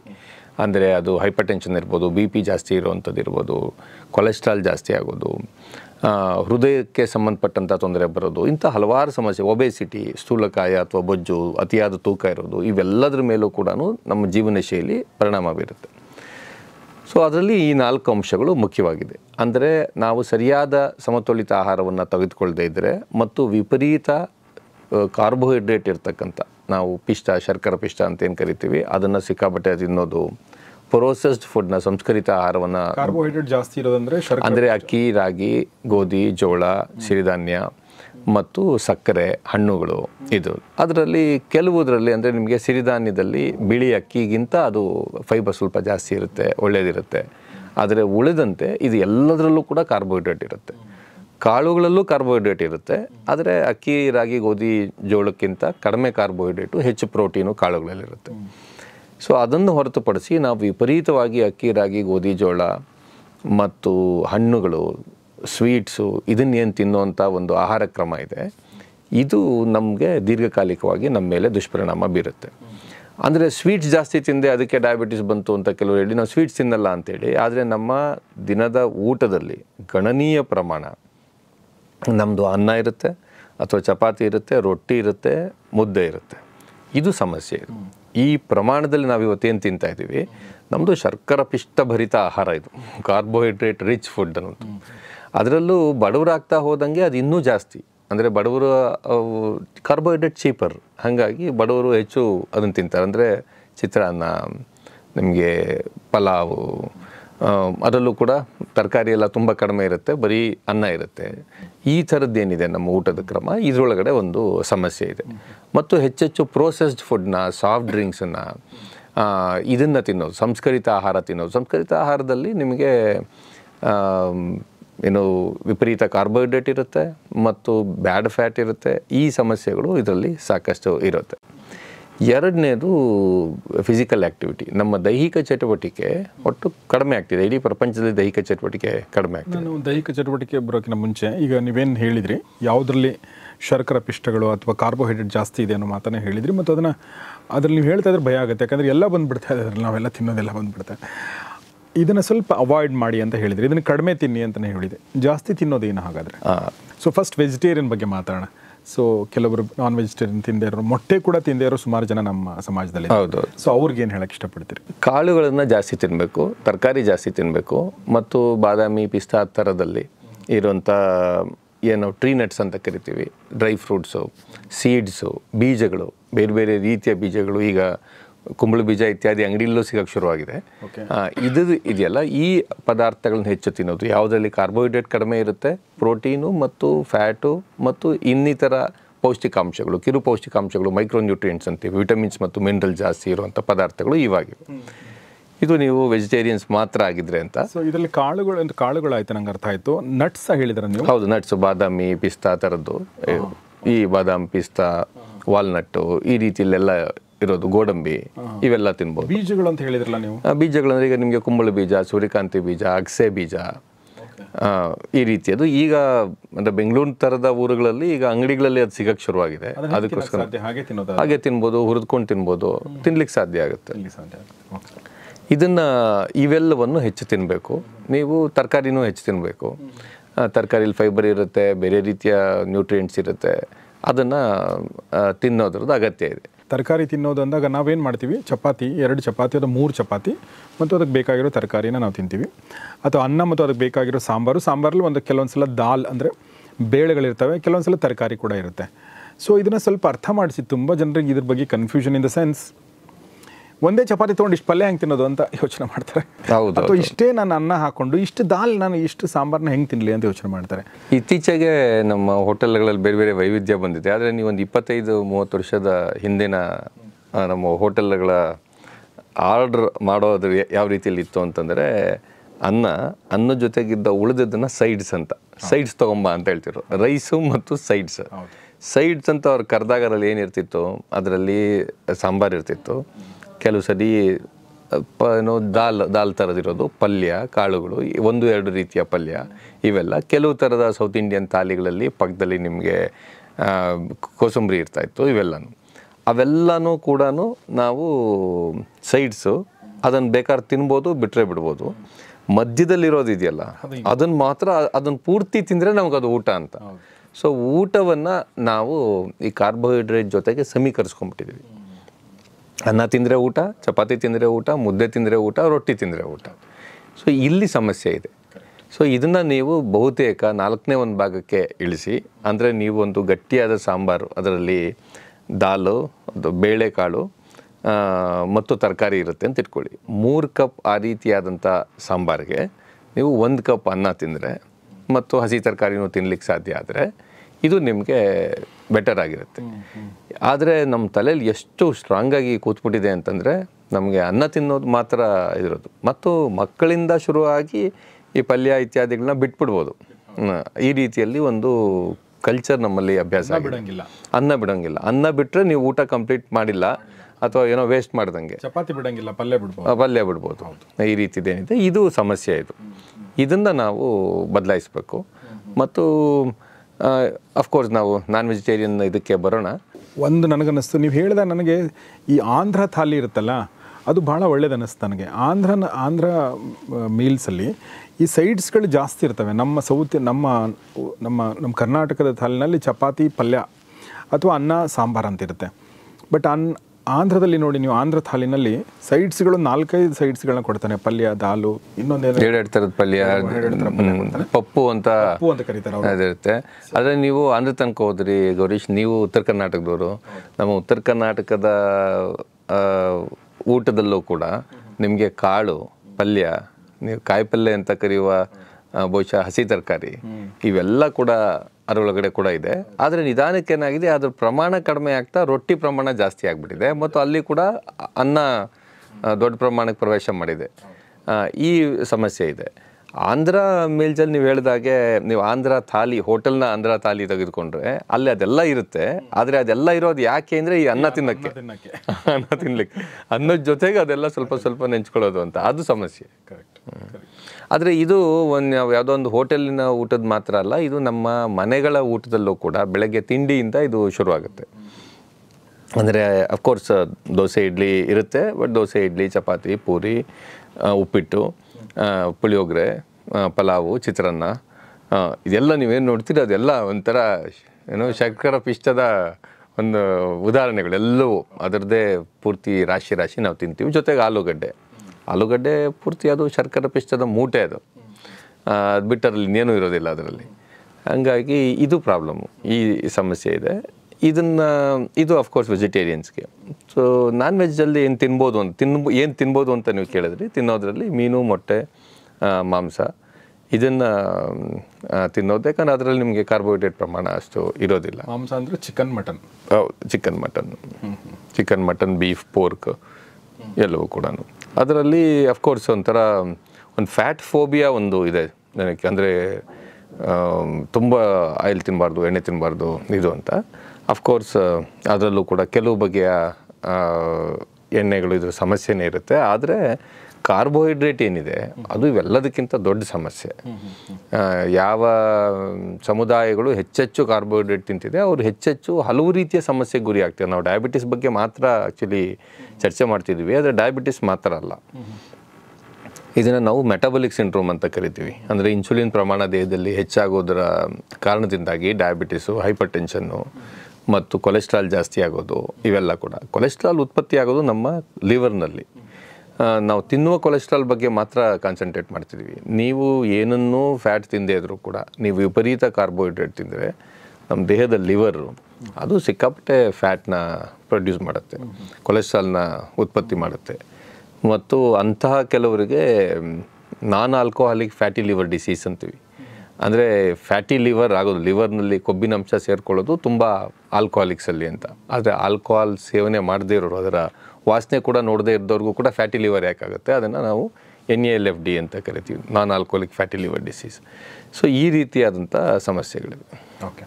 ನೀವೀಗ ಸ್ಥೂಲವಾಗಿ ನೀವು ನೋಡೋದಾದರೆ, ಈಗ ನಾನ್ ವೆಜಿಟೇರಿಯನ್ ಯಾರು ಜಾಸ್ತಿ ಕಮ್ಯುನಿಟಿಗಳು ನಮ್ಮ ಕ, ಕರ್ನಾಟಕದಲ್ಲೇ ನಾವು ತಗೊಳ್ಳೋದಾದರೆ ಅವ್ರನ್ನ ಅವ್ರಿಗೆ ಕಡಿಮೆ, ಅವ್ರಿಗೆ ಡಯಾಬಿಟಿಸ್ ಕಡಿಮೆ ಇದೆಯಾ? ಅಂಕಿಅಂಶಗಳ ಪ್ರಕಾರ ಜಸ್ಟ್ ಆ್ಯಕ್ಚುಲಿ ನನ್ನ ಪೇಷಂಟ್ಸ್ ಅಷ್ಟು ಜನರದ್ದು ಡೇಟಾ ನಾನು ಇಟ್ಕೊಂಡಿದ್ದೀನಿ. ಮತ್ತು ಇದು ಒಂದು ಸರಿಯಾದ ರಿಸರ್ಚ್ ಆಗಬೇಕು. ಆದರೆ ವೆಜಿಟೇರಿಯನ್ ಅಥವಾ ನಾನ್ ವೆಜಿಟೇರಿಯನ್ ಅನ್ನೋದನ್ನು ಕೂಡ ಪ್ರತಿ ಪೇಷಂಟನ್ನು ನಾವು ಕೇಳಿರ್ತೀವಿ. ಇದನ್ನು ನಾವು ಹುಡುಕಿ ನೋಡಬೇಕು. ಆದರೆ ಸಮಸ್ಯೆ ಏನಂದರೆ ಯಾರನ್ನು ನಾವು ನಾನ್ ವೆಜಿಟೇರಿಯನ್ ಅಂತ ಕರಿತಾ ಇದ್ದೀವಿ, ಅವರು ಕೂಡ ಸಿಕ್ಕಾಪಟ್ಟೆ ಕಾರ್ಬೋಹೈಡ್ರೇಟ್ ತಿಂತಾರೆ. ಆಗ ಮತ್ತು ಅದೇನೋ ದಿನದಲ್ಲಿ ಮೂರು ಹೊತ್ತು ಕ ನಾನ್ ವೆಜ್ ಮಾತ್ರ ತಿಂತಾರೆ ಅಂತಿಲ್ಲ. ಇನ್ಫ್ಯಾಕ್ಟ್ ಭಾಳ ದೊಡ್ಡ ಸಮೂಹ, ಭಾನುವಾರ ಮಾತ್ರ, ಭಾನುವಾರ ಮಧ್ಯಾಹ್ನ ಮತ್ತು ರಾತ್ರಿ ಮಾತ್ರ ನಾನ್ ವೆಜಿಟೇರಿಯನ್ ತಿಂತಾರೆ. ಒಂದು ವಾರದ ಆರು ದಿವಸ ನಾನ್ ವೆಜಿಟೇರಿಯನ್ ತಿನ್ನಲ್ಲ. ನಮ್ಮ ಕರಾವಳಿ ಭಾಗದಲ್ಲಿ ಮೀನನ್ನು ಪ್ರತಿನಿತ್ಯ ತಿನ್ನುವವರು ಇದ್ದಾರೆ. ಬಟ್ ಉಳಿದ ಭಾಗಗಳಲ್ಲಿ ವಾರದ ಏಳು ದಿವಸ ದಿನಕ್ಕೆ ಮೂರು ಸರಿ ನಮ್ಮ ನಾನ್ ವೆಜ್ ತಿನ್ನೋರು ಇಲ್ಲ. ಅವರು ಹೆಚ್ಚು ಕಾರ್ಬೋಹೈಡ್ರೇಟೇ ತಿನ್ನೋದ್ರಿಂದ ನಿಮಗೆ ಎರಡು ನಡುವಿನ ವ್ಯತ್ಯಾಸ ಭಾಳ ಇರಲಿಕ್ಕೂ ಇಲ್ಲ. ಆದರೆ ನಾವು ಈ ಟ್ರೀಟ್ಮೆಂಟ್ನ ಹೇಳೋಕ್ಕೆ ಶುರು ಮಾಡಿದಾಗ ನಾನ್ ವೆಜಿಟೇರಿಯನ್ಸ್ಗೆ ಆಪ್ಷನ್ಸ್ ಜಾಸ್ತಿ ಇರುತ್ತೆ. ವೆಜಿಟೇರಿಯನ್ಸ್ಗೆ ಏನೂ ಆಪ್ಷನ್ ಇಲ್ಲ ಅಂತಲ್ಲ. ಆದರೆ ಮೊಟ್ಟೆ ತಿನ್ನೋವಂಥ ಅಭ್ಯಾಸವನ್ನಾದರೂ ಮಾಡಿಕೊಂಡಾಗ ಇದನ್ನು ಇನ್ನು ಸುಲಭದಲ್ಲಿ ನೀವು ಮ್ಯಾನೇಜ್ ಮಾಡೋಕ್ಕೆ ಸಾಧ್ಯ ಆಗುತ್ತೆ. ನಾವು ಡಯಾಬಿಟೀಸ್ ಬಗ್ಗೆ ಮಾತಾಡ್ತಾ ಇರಬೇಕಾದ್ರೆ ಕಮ್ಯುನಿಟಿ ಪೇಜಲ್ಲಿ ಒಂದು ಪೋಸ್ಟ್ ಹಾಕಿದ್ದೆ. ಅದರಲ್ಲಿ ಒಂದಷ್ಟು ಪ್ರಶ್ನೆಗಳು ಬಂದಿದೆ ಅದು ನಾನು ತಗೋತೀನಿ. ಒಂದು ಸಾಲಿನಿ ಭಟ್ ಅನ್ನೋರು ಒಂದು ಪ್ರಶ್ನೆ ಕೇಳಿದ್ದಾರೆ. ಅದು ರಿವರ್ಸ್ ಡಯಾಬಿಟಿಸ್ ಹೇಗೆ ಸಾಧ್ಯ? ಇದರ ಹಲವು ಅನುಮಾನಗಳಿವೆ ಅಂತ ಅದ್ರ ಬಗ್ಗೆ ನಾವು ಆಲ್ರೆಡಿ ಮಾತಾಡಿದ್ದೀವಿ ಕರೆಕ್ಟ್ ಇಲ್ಲ ನೀವು ಅನುಮಾನಗಳು ಅಂತ ಹೆಚ್ಚು ಮಾತಾಡಿಲ್ಲ. ಅನುಮಾನಗಳನ್ನ ತೊಗೊಳ್ಬೋದಾ? ಹೌದು. ಓಕೆ ಒಂದು ಡಯಾಬಿಟಿಸನ್ನು ಜೀವನ ಶೈಲಿಯ ಸಮಸ್ಯೆ ಅಂತ ಭಾವಿಸದೆ ಅದು ನಮ್ಮ ದೇಹದಲ್ಲಿ ಇನ್ಸುಲಿನ್ನ ಕೊರತೆಯಿಂದಾಗಿ ಬಂದು ನಿರಂತರವಾಗಿ ಆ ಇನ್ಸುಲಿನ್ ಕೊರತೆ ಹೆಚ್ಚಾಗ್ತಾ ಹೋಗಿ ನಾವು ಮಾತ್ರೆಯನ್ನು ತೆಗೆದುಕೊಂಡು ಮಾತ್ರೆಗಳನ್ನು ದಿನೇ ದಿನೇ ದಿನ ಹೆಚ್ಚಳ ಮಾಡ್ಕೊಳ್ತಾ ಹೋಗ್ತೀವಿ ಅನ್ನೋಂಥ ಒಂದು ಭಾವನೆ, ಅಭಿಪ್ರಾಯ ಭಾಳ ಜನರಲ್ಲಿ ಗಾಢವಾಗಿ ಇದೆ ಇದು. ಇದಕ್ಕೆ ಹೊರತಾಗಿ ಕೆಲವು ದಶಕಗಳಿಂದ ಈಗೆಲ್ಲ ಡಯಾಬಿಟೀಸ್ನಲ್ಲಿ ಅದಕ್ಕೆ ಯಾವುದು ನಾವು ಜನ್ಮತಃ ಬೈ ಬರ್ತ್ ನಮಗೆ ನಮ್ಮ ದೇಹದಲ್ಲಿ ಡಯಾಬಿಟಿಸ್ ಬರುವಂಥ ಒಂದು ಸಾಧ್ಯತೆ ಇರುತ್ತೆ ಅಂತ ಇದೆ. ಆ ಸಾಧ್ಯತೆ ಇರುತ್ತೆ. ನಮಗೆ ಬರ್ಬೋದಾದಂಥ ಬಹಳ ಕಾಯಿಲೆಗಳಿಗೆ ಬೇಕಿರುವಂಥ ಒಂದು ಬೇಸು ನಮ್ಮ ಜೀನ್ಸಲ್ಲಿ ಇದ್ದಿರ್ಬೋದು. ಆದರೆ ಇದು ಮುಖ್ಯವಾಗಿ ಅದರಲ್ಲೂ ಟೈಪ್ ಟು ಡಯಾಬಿಟಿಸು ಇದು ಒಂದು ಜೀವನ ಶೈಲಿಯ ಸಮಸ್ಯೆ. ಅದರ ಕಾರಣಕ್ಕಾಗಿ ನಮ್ಮ ದೇಹದಲ್ಲಿ ಇನ್ಸುಲಿನ್ ಕೊರತೆ ಆಗೋದಲ್ಲ. ಇರುವ ಇನ್ಸುಲಿನ್ ಕೆಲಸ ಮಾಡೋದಿಲ್ಲ. ಅದನ್ನು ನಾವು ಇನ್ಸುಲಿನ್ ರೆಸಿಸ್ಟೆನ್ಸ್ ಅಂತ ಕರಿತೀವಿ ಅನ್ನುವ ಇನ್ನೊಂದು ವಾದ ಕೂಡ ಸಾಕಷ್ಟು ಕಾಲದಿಂದ ಇದೆ. ಇದನ್ನು ವ್ಯವಸ್ಥಿತವಾದ ರೀತಿ ಒಳಗಡೆ ಪೇಷಂಟ್ಸ್ಗೆ ಜೀವನ ಶೈಲಿಯ ಮಾರ್ಪಾಡು ಮಾಡುವಂಥ ಕೆಲಸವನ್ನು ಹಲವಾರು ಜನ ಡಾಕ್ಟರ್ಸ್ ಏನು ಮಾಡಲಿಕ್ಕೆ ಶುರು ಮಾಡಿದ್ರು. ಇದು ಭಾಳ ಪ್ರಸಿದ್ಧವಾದಂಥ ವೈಜ್ಞಾನಿಕ ಸಂಸ್ಥೆಗಳಿಗೂ ಕೂಡ ಈಗ ಅದು ಮನವರಿಕೆ ಆಗಿದೆ. ಆಗಿರೋ ಕಾರಣದಿಂದಾಗಿಯೇ ಇದರ ಕುರಿತಾದಂಥ ರಿಸರ್ಚು ಇದು ಇತ್ತೀಚಿನದ್ದು. ಹಾಗಾಗಿ ಸಹಜವಾಗಿ ಇಷ್ಟು ವರ್ಷ ಕಾಲ ಡಯಾಬಿಟೀಸ್ ಅಂದರೆ ಅದನ್ನು ಕಂಟ್ರೋಲ್ ಮಾಡ್ಬೋದು, ಅದನ್ನು ಕ್ಯೂರ್ ಮಾಡೋಕ್ಕಾಗಲ್ಲ ಅಂತ ನಮ್ಮ ಮನಸ್ಸಲ್ಲಿ ಇದ್ದಿದ್ರು, ಇರೋದ್ರಿಂದ ಈ ಪ್ರಶ್ನೆ ಸಹಜವಾಗಿ ಬರುತ್ತೆ. ಅದು ತಪ್ಪೇನಲ್ಲ. ಆದರೆ ವೈಜ್ಞಾನಿಕವಾಗಿ ಈ ಸಂಸ್ಥೆಗಳು ಅಂದರೆ ಅಂತಾರಾಷ್ಟ್ರೀಯವಾಗಿ ಖ್ಯಾತಿ ಪಡೆದಂಥ ಸಂಸ್ಥೆಗಳು, ಅದು ಭಾರತದ ಐ ಸಿ ಎಂ ಆರ್ ಇರ್ಬೋದು ಇಂಗ್ಲೆಂಡ್ನಲ್ಲಿ, ಸ್ಕಾಟ್ಲೆಂಡ್ನಲ್ಲಿ, N H S funded studies ಏನಿವೆ ಅದು ತೋರಿಸಿರೋದೇನೆಂದರೆ ನೀವು ಜೀವನ ಶೈಲಿಯ ಮುಖಾಂತರ ಡಯಾಬಿಟಿಸನ್ನು ನಿಯಂತ್ರಿಸ್ಬೋದು, ಮಾತ್ರೆಯನ್ನು ಕಡಿಮೆ ಮಾಡ್ಬೋದು ಮತ್ತು ಭಾಳ ಜನರಲ್ಲಿ ಮಾತ್ರೆಯನ್ನು ನಿಲ್ಲಿಸ್ಬೋದು. ಮತ್ತು ಹಲವಾರು ವರ್ಷಗಳ ಕಾಲ ಅವರು ಮತ್ತೆ ಡಯಾಬಿಟೀಸನ್ನು ಮತ್ತೆ ಅವ್ರಿಗೆ ಬರದೇ ಇರೋದನ್ನು ಕೂಡ ನಾವು ನೋಡಿದ್ದೀವಿ ಅಂತ.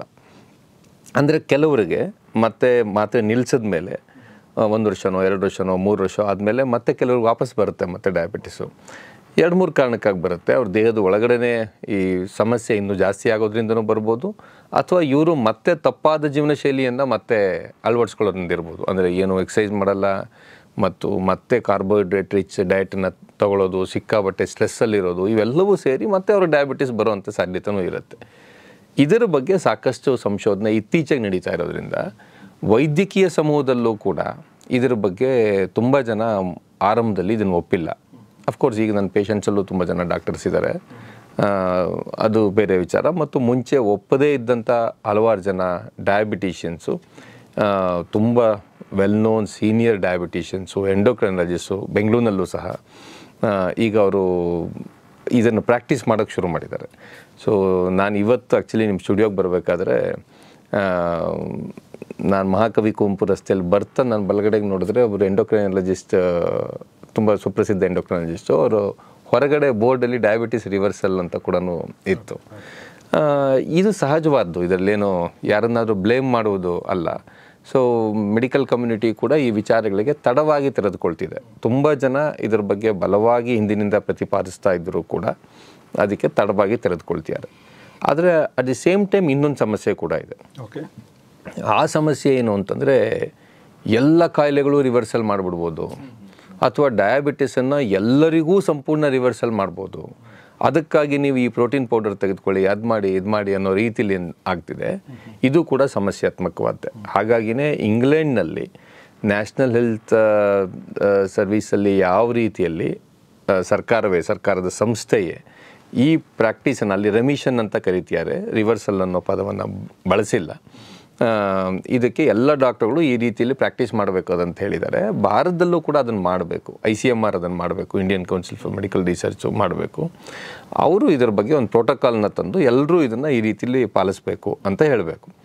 ಅದಕ್ಕೆ ಬೇಕಾಗಿರುವ ಭಾರತೀಯ ಸಂಶೋಧನೆ ಏನಿದೆ, ಅದು ಸಣ್ಣ ಸಣ್ಣ ಪ್ರಮಾಣದಲ್ಲಿ ವ್ಯಕ್ತಿಗತ ಲೆವೆಲಲ್ಲಿ ನಡೀತಾ ಇತ್ತಾದರೂ ಕೂಡ ಸಾಂಸ್ಥಿಕ ಮಟ್ಟದಲ್ಲಿ ಆ ರಿಸರ್ಚು ಅಷ್ಟು ನಡೆದಿರಲಿಲ್ಲ. ಅದು ಈಗ ಶುರುವಾಗಿದೆ. ಸ್ವತಃ ಐ ಸಿ ಎಂ ಆರ್ ಅಂತ ರಿಸರ್ಚ್ ಮಾಡಿ ಮಾಡಿರೋದ್ರಿಂದ ಮತ್ತು ಹದಿನೆಂಟು ಸಾವಿರದ ತೊಂಬತ್ತೆರಡು ಜನರ ಮೇಲೆ ಈ ಪ್ರಯೋಗವನ್ನು ಮಾಡಿ ಡಯಾಬಿಟಿಸನ್ನ ಕಾರ್ಬೋಹೈಡ್ರೇಟ್ ಕಡಿಮೆ ಮಾಡೋದ್ರ ಮುಖಾಂತರ ನಾವು ನಿಗ್ರಹಿಸಬಹುದು ಅಂತ ಅಭಿಪ್ರಾಯಕ್ಕೆ ಬಂದಿರೋದೇನಿದೆ. ಇದು ತುಂಬ ಸಕಾರಾತ್ಮಕವಾದಂಥ ಬೆಳವಣಿಗೆ.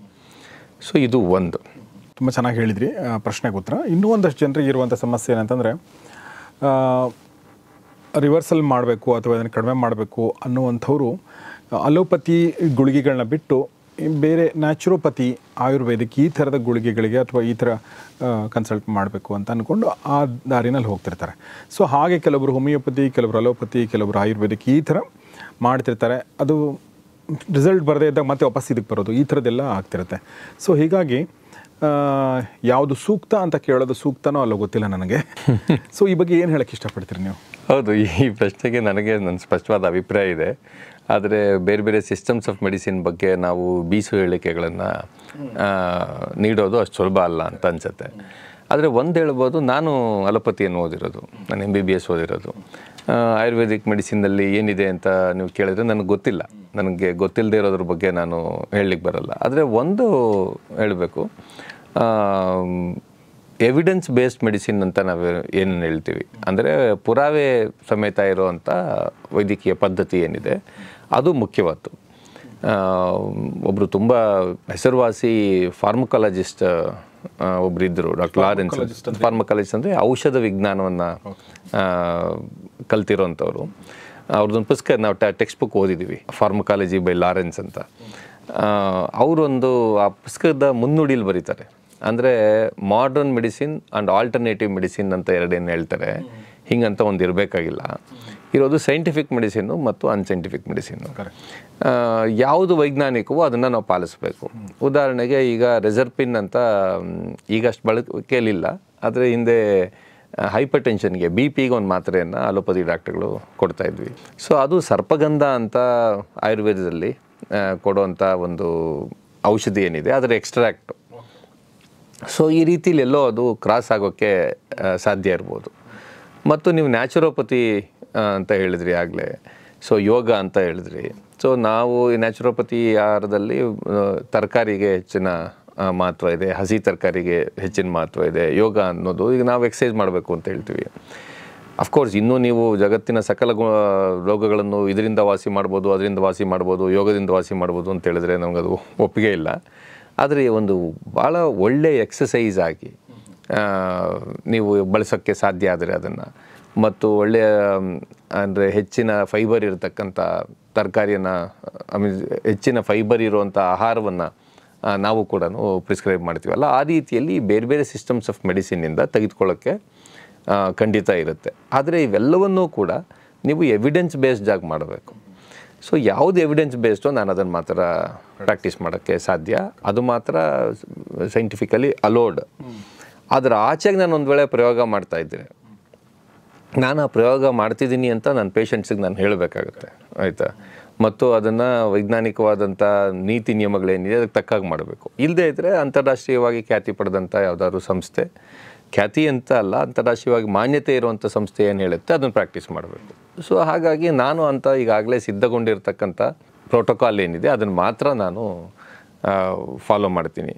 ಅದರ ಆಚೆಗೆ ವ್ಯಕ್ತಿಗತವಾಗಿ ಡಾಕ್ಟರ್ಗಳಿಗೆ ಸ್ವಾತಂತ್ರ್ಯ ಇರಬೇಕು, ಆದರೆ ಅದಕ್ಕೆ, ಅದು ನಿಯಮಗಳಿಗೆ ಒಳಪಟ್ಟಿರಬೇಕು ಅಂತ ನನಗನ್ಸುತ್ತೆ. ಸೊ ಆಯುರ್ವೇದ ಮತ್ತು ಇನ್ನಿತರ ವೈದ್ಯಕೀಯ ಪದ್ಧತಿಗಳ ಬಗ್ಗೆ ಆ ಕಾರಣದಿಂದಾಗಿ ನಾನು ಕಮೆಂಟ್ ಮಾಡೋಕ್ಕಾಗಲ್ಲ. ಬಟ್ ಎವಿಡೆನ್ಸ್ ಬೇಸ್ಡ್ ಮೆಡಿಸಿನ್ ಮಾತ್ರವೇ ಸೈಂಟಿಫಿಕ್ ಆಗಿರೋದು ಅಂತ ನನ್ನ ಅಭಿಪ್ರಾಯ. ಡಯಾಬಿಟಿಸ್ ಮತ್ತು ಬಿ ಪಿ ಎರಡು ಅಣ್ಣ ತಮ್ಮ ಇದ್ದಂಗೆ ಅಂತ ಕಸಿನ್ಸ್ ಇದ್ದಾಗ. ಕಸಿನ್ಸ್ ಇದ್ದಂಗೆ ಎಲ್ಲ ಜೊತೆ ಜೊತೆಲಿ ಬರ್ತವೆ ಅಂತ ಅನ್ಸುತ್ತೆ ಗೊತ್ತಿಲ್ಲ ನನಗೆ.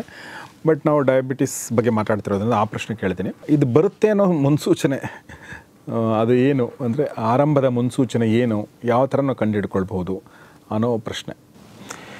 ಒಂದು ತುಂಬ ಸ್ಪೆಸಿಫಿಕ್ ಆಗಿರುವಂಥ ಸಿಮ್ಟಮ್ಮು ಎಲ್ಲರಿಗೂ ಕೂಡ ಒಂದೇ ರೀತಿಯಲ್ಲಿ ಈ ಕಾಯಿಲೆಗಳಲ್ಲಿ ಬರೋದಿಲ್ಲ. ಇದು ಒಂದು ಸಮಸ್ಯೆ. ಅದು ಡಯಾಬಿಟಿಸ್ ಇರಲಿ ಹೈಪರ್ ಟೆನ್ಷನ್ ಇರಲಿ. ತುಂಬ ಸರಿ ಏನಾಗುತ್ತೆ ಅಂದರೆ ಅವರು ಬೇರೆ ಯಾವುದೋ ಸಮಸ್ಯೆಗೆ ತೋರಿಸ್ಕೊಳಕ್ಕೆ ಹೋಗಿರ್ತಾರೆ.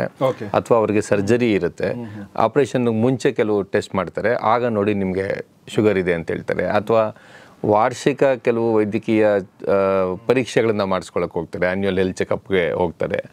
ಆಗ ಕೆಲವರಿಗೆ ಪತ್ತೆ ಹಚ್ತಾರೆ ಇನ್ನು ಕೆಲವರಿಗೆ ಬೇರೆ ಏನೋ ಕಾರಣಕ್ಕೆ, ಉದಾಹರಣೆಗೆ ಭುಜದ ನೋವು ನನ್ನ ಕೈ ಎತ್ತಲಿಕ್ಕೆ ಆಗ್ತಿಲ್ಲ ಅಂತ ಅನಿಸಿ ಅವರು ಆರ್ಥೋಪಿಡಿಷನ್ ಹತ್ರ ಹೋಗ್ತಾರೆ ಮುಳೆ ಡಾಕ್ಟರ್ ಹತ್ರ. ಅವರು ಫ್ರೋಝನ್ ಶೋಲ್ಡರ್ ಆಗಿದೆ ನಿಮಗೆ ಡಯಾಬಿಟಿಸ್ ಇರ್ಬೋದಾ ಚೆಕ್ ಮಾಡ್ಕೊಳ್ಳಿ ಅಂತ ಹೇಳ್ತಾರೆ. ಸೊ ಈ ರೀತಿಯಲ್ಲಿ ಯಾವುದೇ ಸಿಂಪ್ಟಮ್ಸ್ ಇಲ್ಲದೆಯೂ ಕೂಡ ಈ ಕಾಯಿಲೆಗಳು ಇರೋದಕ್ಕೆ ಸಾಧ್ಯ ಇದೆ. ಹಾಗಾಗಿ ನಿಮಗೆ ಮುನ್ಸೂಚನೆ ಕೊಡಬೇಕು ಅಂದರೆ ಆಗಾಗ ನೀವು ಟೆಸ್ಟ್ ಮಾಡಿಸ್ಕೊಳ್ತಾ ಇರಬೇಕು. ಅದರಲ್ಲೂ ನಲ್ವತ್ತು ವರ್ಷ ಆದಮೇಲೆ ಆಗಾಗ್ಗೆ ನೀವು ಟೆಸ್ಟ್ ಮಾಡಿಸ್ಕೊಂಡು ಡಯಾಬಿಟಿಸ್ ಇದೆಯಾ ಹೈಪರ್ ಟೆನ್ಷನ್ ಇದೆಯಾ ಅಂತ ನೋಡಬೇಕು ಅಂತ ಹೇಳೋದೇ ಇವತ್ತಿಗೂ ಸ್ಟ್ಯಾಂಡರ್ಡ್ ಆಗಿದೆ. ಇದಲ್ಲದೆ ನೀವು ವಿಪರೀತ ತೂಕ ಹೆಚ್ಚಳ ಆಗಿದ್ದರೆ ಅಥವಾ ತೂಕ ಇದ್ದಕ್ಕಿದ್ದಂಗೆ ಕಳ್ಕೊಳ್ತಾ ಇದ್ದರೆ ಇವೆರಡೂ ಸಂದರ್ಭದಲ್ಲೂ ಕೂಡ ನಿಮ್ಗೆ ಡಯಾಬಿಟಿಸ್ ಇದೆಯಾ ಅಂತ ನೀವು ಚೆಕ್ ಮಾಡ್ಕೋಬೇಕು. ಅಫ್ಕೋರ್ಸ್ ಬ್ಲಡ್ ಪ್ರೆಷರ್ಗೂ ಕೂಡ ಒಬೆಸಿಟಿಗೂ ಸಂಬಂಧ ಇದೆ. ಅಂದರೆ ನೀವು ಸ್ಥೂಲಕಾಯ ಆಗಿದ್ರೆ, ಬೊಜ್ಜು ಇದೆಲ್ಲ ಜಾಸ್ತಿ ಇದ್ದರೆ ಹೊಟ್ಟೆ ಸುತ್ತ ಕೊಬ್ಬಿನ ಶೇಖರಣೆ ಜಾಸ್ತಿ ಆಗಿದ್ರೆ ಕಾಲಲ್ಲಿ ಉರಿ ಬರ್ತಾ ಇದ್ರೆ ಕಣ್ಣಲ್ಲಿ ಏನೋ ಸಮಸ್ಯೆ ಇದೆ ಅಂತೇಳಿ ನಿಮ್ಗೆ ಅನ್ಸಿದ್ರೆ, ಇವೆಲ್ಲ ಸಂದರ್ಭದಲ್ಲೂ ಕೂಡ ನೀವು ಟೆಸ್ಟ್ ಮಾಡಿಸ್ಕೋಬೇಕು. ಕೆಲವರಿಗೆ ವಿಪರೀತ ತಲೆನೋವು ಬಂದಾಗ ಅವ್ರಿಗೆ ಬಿ ಪಿ ಇದೆಯಾ ಅಂತ ಚೆಕ್ ಮಾಡಲಾಗುತ್ತೆ. ಕಾಲಲ್ಲಿ ಊತ ಬಂದರೆ, ಮುಖದಲ್ಲಿ ಊತ ಬಂದರೆ. ಅಫ್ಕೋರ್ಸ್ ಡಯಾಬಿಟಿಸ್ ವಿಚಾರದಲ್ಲಿ ಕೆಲವು ಸ್ಟ್ಯಾಂಡರ್ಡ್ ಮುಂಚೆಯಿಂದ ಇರೋದು ಇದ್ದೇ ಇದೆ. ಅಂದರೆ ನಿಮಗೆ ವಿಪರೀತ ಬಾಯಾರಿಕೆ ಆದರೆ ವಿಪರೀತ ಪದೇ ಪದೇ ಮೂತ್ರ ಮಾಡಬೇಕು ಅಂತ ಅನಿಸಿದ್ರೆ ಸಿಕ್ಕಾಬಟ್ಟೆ ಹಸಿವಾಗ್ತಾ ಇದ್ದರೆ ಅಂದರೆ ನಾವು ಇದನ್ನು ಪಾಲಿಯೂರಿಯಾ ಮತ್ತು ಪಾಲಿಡಿಪ್ಸಿಯಾ ಅಂತ ಕರಿತೀವಿ. ಪಾಲಿಫೇಜಿಯಾ ಅಂತೀವಿ. ಸಿಕ್ಕಾಬಟ್ಟೆ ತಿನ್ನಬೇಕು ಅಂತ ಅನಿಸುತ್ತೆ. ಅಂಥ ಸಂದರ್ಭದಲ್ಲಿ ನೀವು ಡಯಾಬಿಟಿಸ್ ಇದೆಯಾ ಅಂತ ಟೆಸ್ಟ್ ಮಾಡ್ಕೋಬೇಕು ಅಂತ.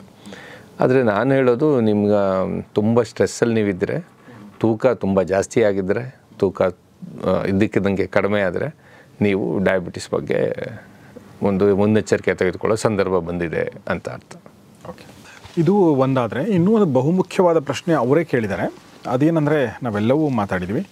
ಡಯಾಬಿಟಿಸ್ ಬರದೇ ಇರೋ ಹಾಗೆ ನಾವು ಒಂದು ಜೀವನ ಶೈಲಿನ ಅಳವಡಿಸ್ಕೊಳ್ಳೋದು. ಬಂದ ಮೇಲೆ ರಿವರ್ಸಲ್ಲೋ ರೆಮಿಷನ್ನೋ ಒಂದು ಕಡೆ ಆದರೆ ನಾವು ಈಗ ಮೂವತ್ತು, ನಲ್ವತ್ತು, ಐವತ್ತು ಏನೋ ವರ್ಷ ಇರಬಹುದು ಡಿಪೆಂಡ್ಸ್ ನಾವು ಬರದೇ ಇರೋ, ಬರದೇ ಇರೋದು ಯಾವಾಗಲೂ ಯಾವಾಗಲೂ ಬೆಟರ್ ಅದು, ಅಲ್ವಾ? ನೀವು ಬಂದ ಮೇಲೆ ನೀವು ಅದನ್ನು ಕಂಟ್ರೋಲ್ ಮಾಡೋದಕ್ಕಿಂತ ಬರದೇ ಇರೋ ಹಾಗೆ ಜೀವನ ಶೈಲಿ ಅಳವಡಿಸ್ಕೊಳ್ಳೋದು ತುಂಬ ಮುಖ್ಯ ಆಗುತ್ತೆ. ಸೊ ಅದ್ರ ಬಗ್ಗೆ ಏನು ಹೇಳಕ್ಕೆ ಇಷ್ಟಪಡ್ತೀನಿ ಡಾಕ್ಟರ್ ವಾಸು?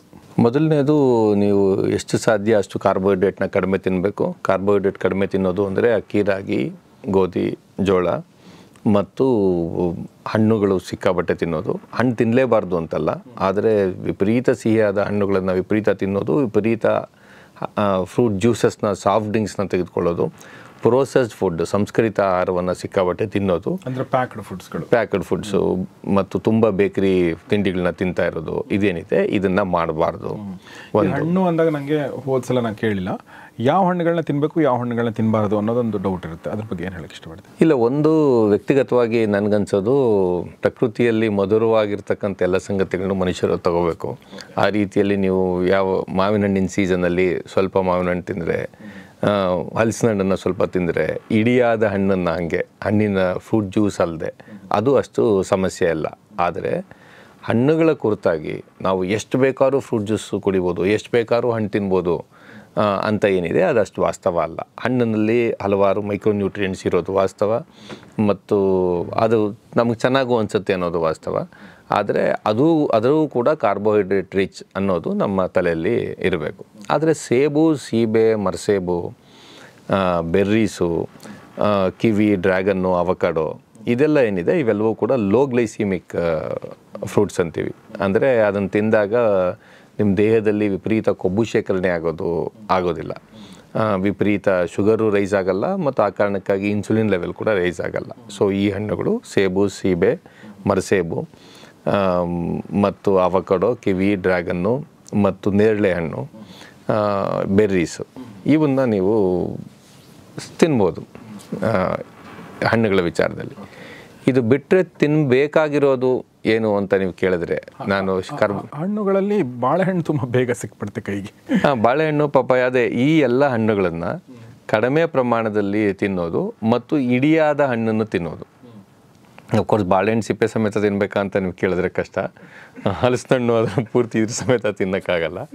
ಆದರೆ ಫ್ರೂಟ್ ಜ್ಯೂಸ್ಗಿಂತ ಇಡಿಯಾದ ಹಣ್ಣನ್ನು ನೀವು ಕಡಿಮೆ ಪ್ರಮಾಣದಲ್ಲಿ ತಿನ್ನೋದು ಒಳ್ಳೆಯದು ಎಸ್ ಸೊ ಅದು ಬಿಟ್ಟರೆ ನಾನು ಆಗಲೇ ಹೇಳಿದಾಗೆ ನೀವು ತರಕಾರಿ ಕಾಳು ಮೀನು ಮೊಟ್ಟೆ ಮಾಂಸ ಇದನ್ನು ಹೆಚ್ಚು ಸೇವಿಸ್ತಕ್ಕಂಥದ್ದು ಒಳ್ಳೆಯದು ಮತ್ತು ನೀವು ಉಳಿದ ಕಾರ್ಬೋಹೈಡ್ರೇಟ್ ರಿಚ್ ಫುಡ್ಡನ್ನು ಕಡಿಮೆ ತಿನ್ನಬೇಕು ಇದು ಒಂದು.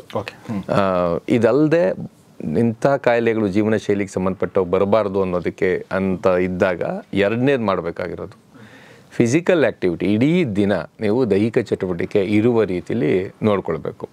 ದೇರ್ ಸಿಟ್ಟಿಂಗ್ ಡಿಸೀಸ್ ಅಂತಾರೆ. ನೀವು ಕೂತ್ ಕಡೆ ಬೆಳಗ್ಗೆಯಿಂದ ಸಂಜೆ ತನಕ ಕಂಪ್ಯೂಟರ್ ಮುಂದೆ ಕೂರೋದು ಅಥವಾ ಈ ರೀತಿಯ ಕೆಲಸವನ್ನು ಮಾಡೋದೇನಿದೆ, ಇದು ಸಮಸ್ಯೆ ಅಂತ ಅಂದ್ಕೊಡುತ್ತೆ ಚಟುವಟಿಕೆಯಿಂದಿರಬೇಕು ಮತ್ತು ಎಲ್ಲ ರೆಕಮೆಂಡೇಶನ್ಸ್ ಕೂಡ ಹೇಳೋದು ನಿಮಗೆ ಒಂದು ವಾರದಲ್ಲಿ ನೂರೈವತ್ತು ನಿಮಿಷಗಳ ಕಾಲ ರಿಗರಸ್ ಎಕ್ಸಸೈಸ್ ವಾರದಲ್ಲಿ ನೂರೈವತ್ತು ನಿಮಿಷ ಅಂದಾಗ ಒಂದು ದಿನಕ್ಕೆ ಮೂವತ್ತು ನಿಮಿಷ. ನೀವು ವಾರದಲ್ಲಿ ಎರಡು ದಿನ ಮಾಡಲ್ಲ ಅಂತ ಇಟ್ಕೊಂಡು ನೂರೈವತ್ತು ನಿಮಿಷದಷ್ಟು ಎಕ್ಸಸೈಸ್ನ ಮಾಡಬೇಕು. ಮೂರನೇದು ನಿದ್ದೆ. ಮನುಷ್ಯರಿಗೆ ಏಳು ಗಂಟೆಗಳ ಕಾಲ, ಏಳರಿಂದ ಎಂಟು ಗಂಟೆಗಳ ಕಾಲ ಒಳ್ಳೆಯ ನಿದ್ದೆ ಅಗತ್ಯ ಇರುತ್ತೆ. ಕನಿಷ್ಠ ಏಳು ಗಂಟೆ ನಿದ್ದೆ ಮಾಡೋದಕ್ಕೆ ಪ್ರಯತ್ನಿಸಬೇಕು. ಮಧ್ಯಾಹ್ನ ಮಕ್ಕಳು ಮಲ್ ಮಲಗಿದ್ರು ನಡೆಯುತ್ತಾ ಅಂದರೆ ನಾ ಹೇಳೋದು ನಾವಲ್ಲ. ಸಾಧ್ಯತೆ ಇರೋರು. ಹಾಂ ನಡೀತದೆ ಬಟ್ ಇದರಲ್ಲಿ ಅಂದರೆ ನಮ್ಮ ಲೈಫ್ ಸ್ಟೈಲ್ ಮಾತ್ರ ಅಲ್ಲದೆ ನಮ್ಮ ಏನೋ ಒಂದು ಜಾಬು ಇರುತ್ತಲ್ವ? ಹಾಗಾಗಿ ಅದನ್ನೆಲ್ಲವನ್ನು ಗಮನದಲ್ಲಿ ಇಟ್ಕೊಂಡು ಹೇಳೋದಾದರೆ ದಿನಕ್ಕೆ ಏಳು ಗಂಟೆಗಳಷ್ಟು ನಿದ್ದೆ ಮಾಡಬೇಕು. ನಾಲ್ಕನೇದು ಸ್ಟ್ರೆಸ್ಸು. ವಿಪರೀತ ಸ್ಟ್ರೆಸ್ ಏನಿದೆ, ಸ್ಟ್ರೆಸ್ ಆದಾಗ ರಿಲೀಸ್ ಆಗುವಂಥ ಹಾರ್ಮೋನುಗಳೆಲ್ಲ ಏನಿರ್ತದೆ, ನಿಮಗೆ ಅಡ್ರಿನಲಿನು ಗ್ಲುಕಾಗಾನು ಈ ಥರದ ಹಾರ್ಮೋನುಗಳು, ಅವೆಲ್ಲ ಇನ್ಸುಲಿನ್ ವಿರುದ್ಧವಾಗಿರೋ ಹಾರ್ಮೋನುಗಳು. ಹಾಗಾಗಿ ಅದು ಇನ್ಸುಲಿನ್ ರೆಸಿಸ್ಟೆನ್ಸ್ನ ಜಾಸ್ತಿ ಮಾಡುತ್ತೆ. ಹಾಗಾಗಿ ಸ್ಟ್ರೆಸ್ಸು ಇಲ್ಲದೇ ಇರೋವಾಗ ನೋಡಿಕೊಳ್ಳೋದು ನಿಮಗೆ ಡಯಾಬಿಟಿಸ್ ವಿಚಾರದಲ್ಲಿ ಹೈಪರ್ ಟೆನ್ಷನ್ ವಿಚಾರದಲ್ಲಿ ಇವೆಲ್ಲದರಲ್ಲೂ ಕೂಡ ಮುಖ್ಯವಾದ್ದು. ಈಗ ನೀವು ಎಕ್ಸಸೈಸ್ ಅಂತ ಹೇಳಿದಾಗ ಫಿಸಿಕಲ್ ಆ್ಯಕ್ಟಿವಿಟಿ ಬಗ್ಗೆ ಹೇಳಿದ್ರಿ ಮತ್ತು ದಿನಕ್ಕೆ ಇಷ್ಟು ಇಷ್ಟು ಅರ್ಧ ಗಂಟೆಗಳ ಕಾಲ ರಿಗರಸ್ ಎಕ್ಸಸೈಸ್ ಮಾಡ್ಬೇಕು ಅಂತ ಹೇಳಿದ್ರಿ. ಈಗ ಬಹುಶಃ ಅರವತ್ತು ವರ್ಷನೋ ಎಪ್ಪತ್ತು ವರ್ಷ ದಾಟದವರು, ವಿಶೇಷವಾಗಿ ಮಹಿಳೆಯರಿಗೆ ರಿಗರಸ್ ಎಕ್ಸಸೈಸ್ ಮಾಡೋಕ್ಕೆ ಸಾಧ್ಯ ಆಗದೇ ಇರ್ಬೋದು. ಸೊ ಅಂಥವ್ರು ಏನು ಮಾಡಬೇಕು ಅಂದರೆ, ಅವರು ಕೆಲಸ ಮಾಡ್ತಾರೆ, ಮನೇಲಿರ್ತಾರೆ, ಅವರು ಲೇಝಿ ಖಂಡಿತ ಅಲ್ಲ.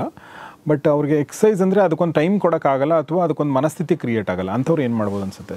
ಇಲ್ಲ, ಒಂದು ಇಡೀ ಈಗ ಎಕ್ಸಸೈಸ್ ಸಿಕ್ಕಾಬಟ್ಟೆ ಮಾಡಬೇಕು, ಯೋಗ ಮಾಡಿದ್ರೆ ಎಲ್ಲ ಕಾಯಿಲೆ ವಾಸಿಯಾಗ್ಬಿಡುತ್ತೆ ಅಂತ ಹೇಳಿ ಎಕ್ಸಸೈಸ್ ಬಗ್ಗೆನೂ ವಿಪರೀತವಾಗಿ ಹೇಳೋದೇನಿದೆ.